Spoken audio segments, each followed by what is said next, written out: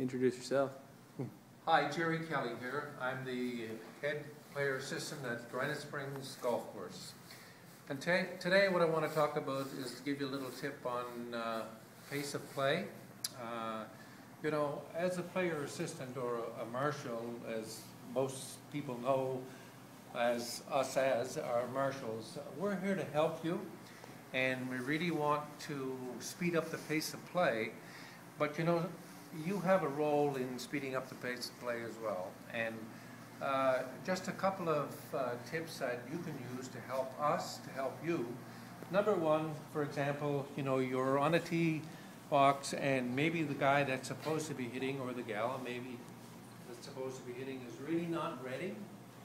Uh, don't wait for that person to hit. Uh, if you're ready, play ready golf, get up, hit your ball. That moves the pace of play along. And the second part of that is, is uh, most of us, uh, when we hit the ball down the middle of the fairway, we're uh, happy, we're walking forward, all of a sudden we realize that one of our buddies has hit the ball in the woods. You know, again, in order to speed up the pace of play, what we should be doing is when we walk up to our balls, hit the ball, then go help our friend find the ball. That will help us, that will help you speed up the pace of play. And thank you so much.